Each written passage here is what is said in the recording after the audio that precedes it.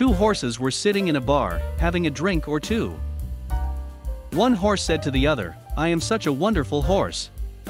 I made $100,000 for my owner racing last year.